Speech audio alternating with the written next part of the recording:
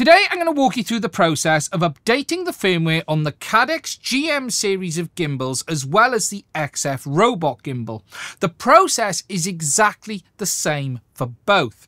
Now, the reason you may need to update the firmware on your gimbal is not only to get new features in the future, but Caddx users specifically have found that their head tracking on their Goggles L will not work with their gimbal until the gimbal has been updated to the latest firmware. Now, when you buy the gimbal, Caddx don't include the cable that you need to update the firmware, but don't worry, you don't actually have to go out and buy that if you don't have it. You can update this gimbal not only through Betaflight or iNav pass-through, but you can even do it with an FTDI adapter as well. And what I'm going to do in today's video is walk you through three different methods. The first method is with the official adapter. The second method is via Betaflight or iNav pass-through, and the third method is with an FTDI adapter. Now, quickly, before we get into it, I just want to say if you do find this video useful, please do make sure you are subscribed. I do also have a full review on the Goggles L as well as some of these gimbals out there, and I will put links to them below. Now, the recommended way to update the firmware is with this little adapter that you see here. They don't actually include this with the gimbal, unfortunately, although it is available to buy separately on the website. This comes with a small 3-pin cable attached, and the firmware update port on this gimbal is this little port located on the side here.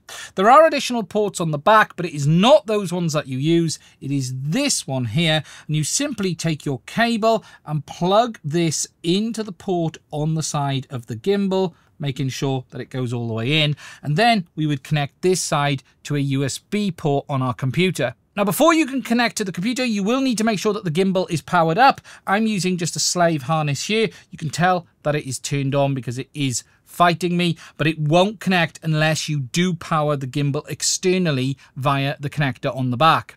You will then need to go to the manufacturer's website and download the correct firmware for the gimbal. You can see up here, we've got the GM series manual. And then if we scroll down further, we should find firmware for the gimbal located down here. If your gimbal is made by one of the other manufacturers, simply go to their website and download that firmware package for your gimbal. Once downloaded, inside you will find a few files in a folder. You need to go in and navigate to this program here called Gimbal Config. This is what is going to allow you to do all the configuration on the gimbal as well as update the firmware.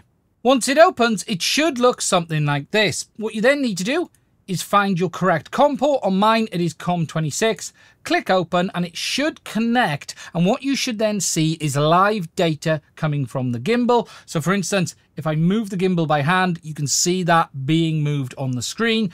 Under this software it gives you various pieces of information. So we can download our parameters upload parameters save the parameters to a file. You've got some gain settings under here as well. And there are some more advanced settings available on other versions of this software as well that allow you to do a lot more configuration. On the Caddx version though, it is pretty much as you see it here today. Now to update the firmware on this gimbal is fairly straightforward. The first thing you want to do is check what firmware you actually have installed. It will show you the current version down here.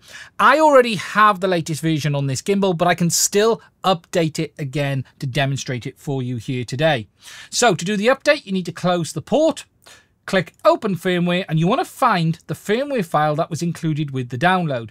In this file that I downloaded here, it's in this folder with the Chinese symbol and you're looking for a firmware file that ends in CAHF. That is the main firmware file and it shows the version number there. Once I've double clicked it, we then simply click start upgrade. You will see down here that it says entering firmware update mode and it will give you a progress bar along the bottom here of the firmware update and basically once it completes, your firmware is updated and it should then work on the latest version. And there we go, that is the firmware update complete. Now the second method you can flash this if you don't have this adapter is via your flight controller. Now here I've got the gimbal connected up to one of the serial ports and the basics are we are going to flash this via the pass-through feature exactly the same as we would flash something like an Express LRS receiver although you are going to need to do some manual commands in CLI to put the flight controller into pass-through mode. Now this should work with both Betaflight and iNav and we'll take a look at that in a minute and the only thing you're going to need to do is make yourself up a custom cable. So here I've got a cable into the update port and I've chosen to plug it into the digital ready port on this SkyStars flight controller. You can connect it to any UART you want. You could solder it on this side and plug it in on that side. It's not important. What is important is you know which UART you're connected to and you have the pinout correct. I will post up an image of the correct wiring for the gimbal on the screen as well. This is listed in the manual as well. But what you need to do is make sure you have ground to ground, TX to RX, RX to TX, exactly the same as you would with any Express LRS receiver. Then it's simply a case of powering everything up. I've currently got the gimbal turned on and I've connected the flight controller to USB. Once connected in Betaflight, you simply hop into the CLI and we need to force the flight controller to enter pass-through mode. Now there is a command to do this and it is basically serial pass-through with the number of the UART and then the baud rate. Now there is something you need to take into account here. You need to take one off whatever the UART is because that is the number that it is assigned to on the flight controller. So for instance, if you were doing this on UART 1, you would say serial pass through 0. If you were doing it on UART 6 as I am, you would say serial pass through 5. Then you need to set the baud rate and I've set that to 115200. You type in that command, click enter, it will then put the flight controller into pass-through mode, and then you go up and you disconnect from the configurator. Then in the Gimbal config app, make sure you select the correct COM port click open port and you should then see it connect to the gimbal.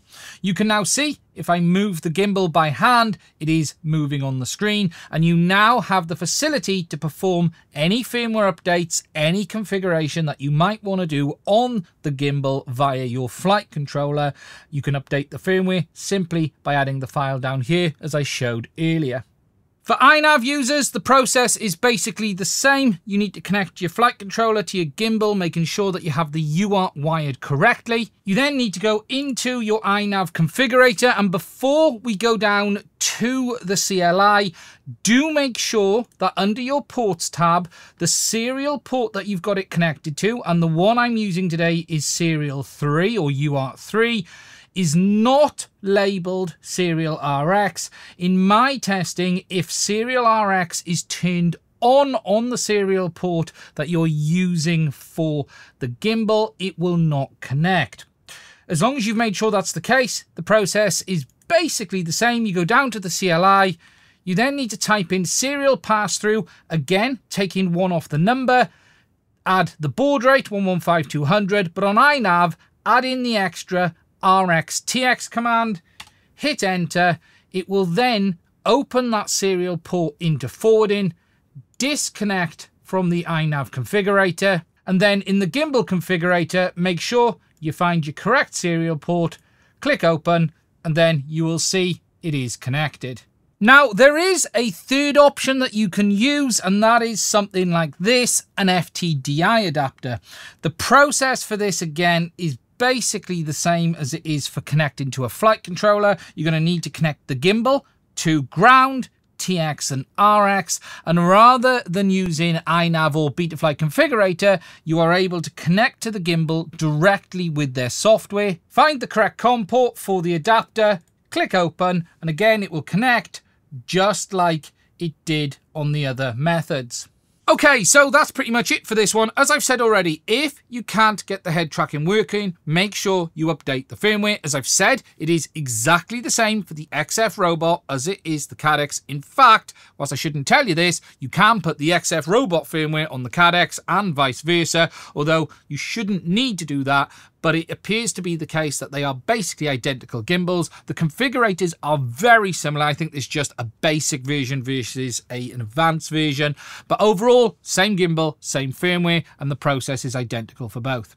Anyway, if you found this video useful, please do let me know what you think below. If you have any questions, please do post them below as well, and I will try and answer them. Finally, I'd just like to say if you'd like to support the channel to allow us to keep making content like this in the future, please do consider checking out the links to my Patreon. It is only through the support my patrons will be able to keep making content on this channel, and if you'd like to support us to allow us to keep doing it in the future, please do consider checking it out.